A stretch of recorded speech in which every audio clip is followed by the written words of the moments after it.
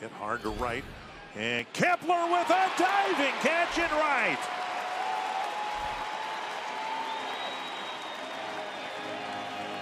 Tonight, raindrops did fall in the Twins outfield, but that's been about it.